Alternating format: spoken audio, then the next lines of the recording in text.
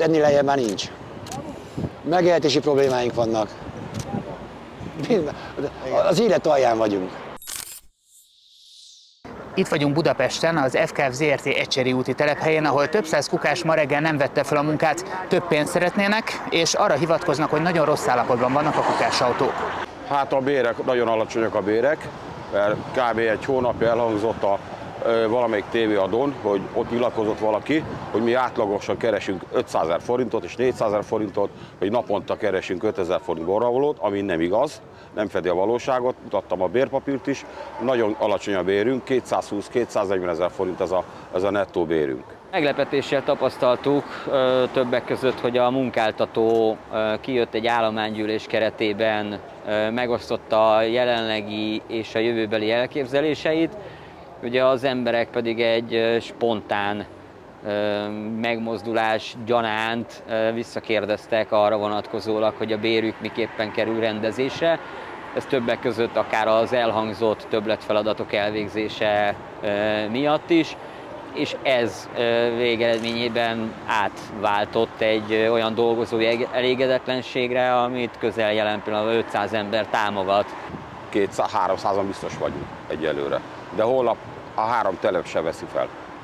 És önök Budapest melyik részéről szállítják el a hulladékot, vagy szállítanák el a hulladékot? Mai napon 17. kerületbe. Holnap Kőbányán, hétfő, szerda, csütörtök Kőbánya, kett péntek 17 kerület. És mi kell ahhoz, hogy megegyezzenek ön szerint? Hát a bérek. Tehát amíg nem rendezik a béreket, addig önök nem is fognak dolgozni? Igen. Zoltán miért mondta azt, hogy maguknak már mindegy? Hát mert már olyan anyagi helyzetben, olyan erkölcsi helyzetben vagyunk, hogy ezt már nem lehet tovább veszíteni. Tehát ennél lejjebb már nincs. Megélhetési problémáink vannak. Az élet alján vagyunk. Magyarul mondva, magyarul mondva itt, itt majdnem mindenki albéletben lakik, majdnem mindenkinek hitele van, 200 ezer forintos fizetésekben nem lehet megélni manapság. És mi lenne most a terv, mit szeretnének elérni? A, az átlagbér a rakodóknak 350 ezer forint, és a sofőröknek 400 ezer forint.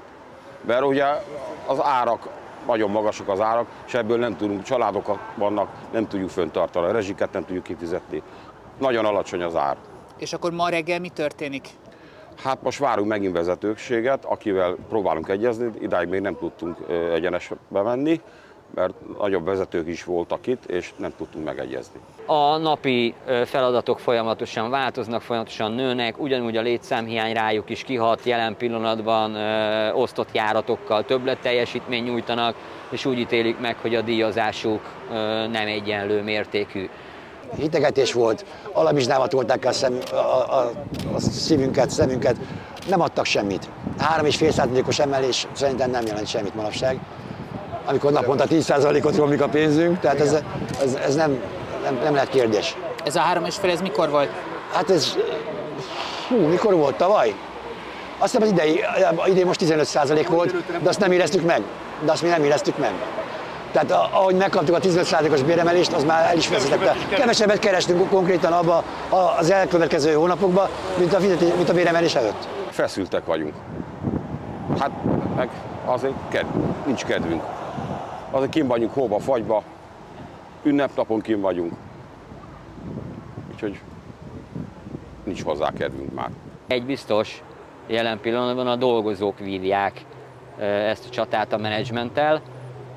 Most jelen pillanatban az zajlik, hogy várják, hogy a menedzsment részéről olyan személy jöjjön ki, aki döntési kompetenciákkal bír. Azt kell látni, hogy a dolgozók fölvették a munkát, csak a gépjárművekkel, a célgépekkel, amivel a munkát kezdték volna elvégezni, műszakilag végig ellenőrizték az autókat, és amelyikkel hiba volt, leadták, és jelen pillanatban a műhely a javításokat eszközöli.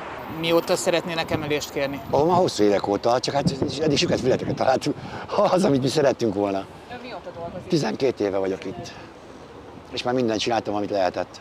Hát eh, fél ötkor van általában a kivonulás, de már általában négy óra, négy ötkor itt vagyunk. Van négy lányom. A legkisebbik 16 éves, a többiük már felnőttek. A lányom konkrétan többet keres, mint én.